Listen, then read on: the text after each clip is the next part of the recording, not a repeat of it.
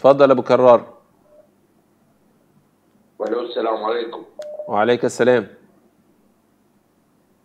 آه، ما هو الموضوع اليوم حضرتك؟ الآن هناك آية في القرآن الكريم في سورة التوبة الآية 100 تقول والسابقون الأولون من المهاجرين والأنصار والذين اتبعوهم بإحسان. فالاتباع هو المحبة وأخذ الدين. فكيف نأخذ الدين من غير المعصوم؟ أوكي سأناقشك.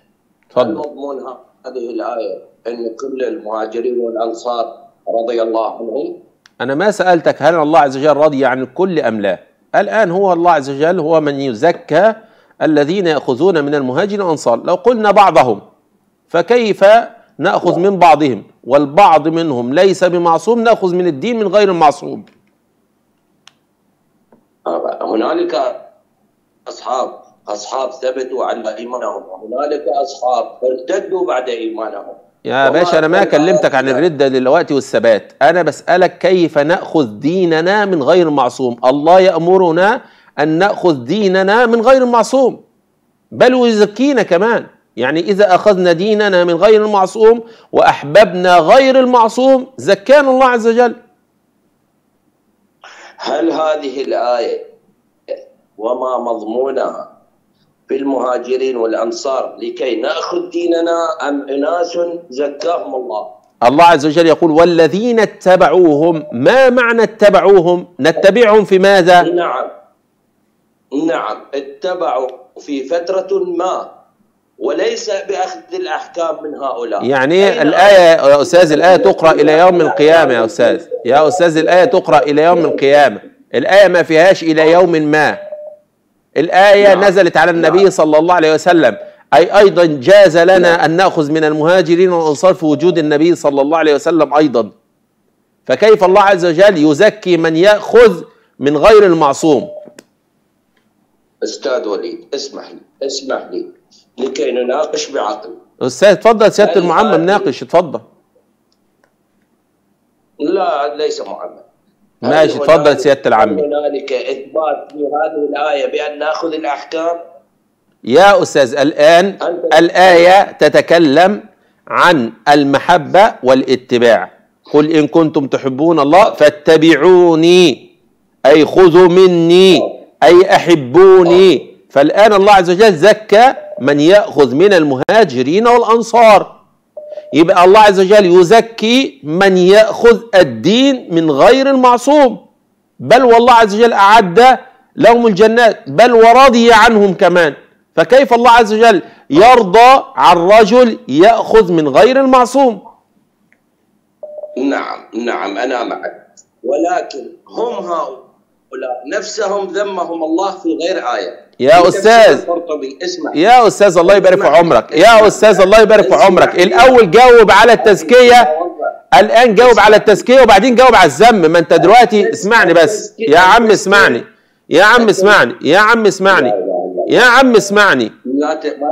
يعني الله عز وجل الآن يأمرنا أن نأخذ ديننا من ناس مذمومة. اسمح. هذه الآية. الله طلب فيها من الذين يثبتون على الإيمان. خلاص جدا طيب يبقى الآن. الذين ثبتوا على الإيمان. اسمعني بس. يا عم اسمع بس. يا عم اسمع. يا عم بلاش هجايص يا عم. بلاش أكل فشار يا عم. يا عم اسمع. اسمع. اسمع. والله ما تجعلني أتكلم. يا عم اسمع بس. انت بتتكلم. انت والله العظيم انت ما بتتكلم. انت بتضل الناس.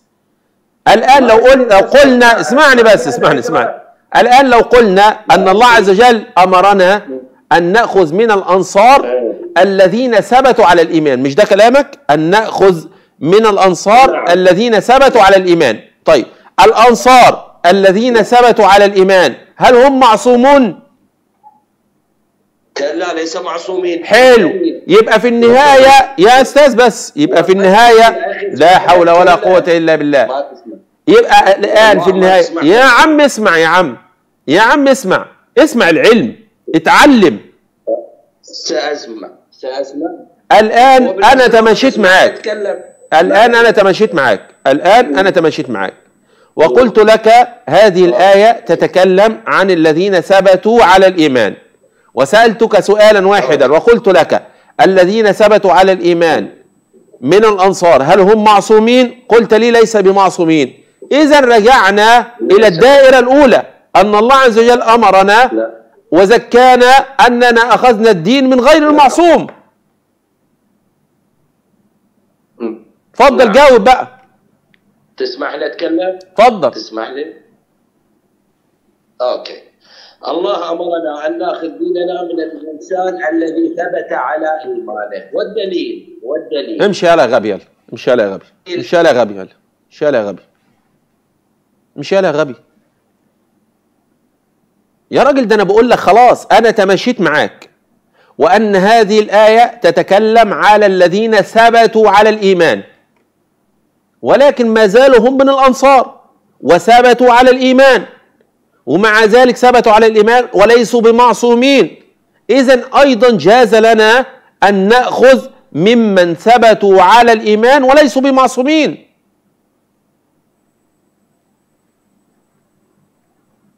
يا راجل لا والله العظيم الإشكالية إن هم بيضلوا شباب الشيعة.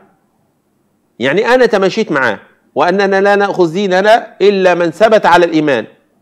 يبقى اذا هناك مجموعة من الأنصار ثابتين على الإيمان. وتثبتهم على الإيمان أو ثباتهم على الإيمان لا ينفي أنهم ليسوا بمعصومين. يعني برضو في النهاية الله زكى من يأخذ دينه من غير المعصوم.